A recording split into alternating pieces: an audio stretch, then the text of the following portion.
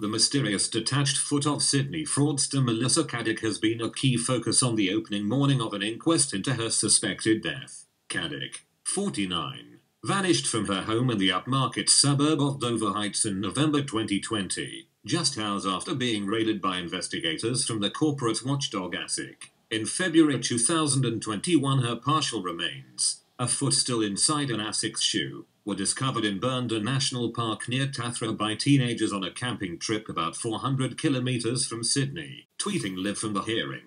Sydney Morning Herald investigative reporter Kate McClymont said a forensic pathologist will say at the inquest they are unable to explain how Caddick's foot got detached from her body. It may well be that the coroner returns an open finding into her presumed death, McClymont speculated. The veteran reporter co hosted the La Liar podcast with 60 Minutes' Tom Steinfort as they investigated the fraudster's 2020 disappearance.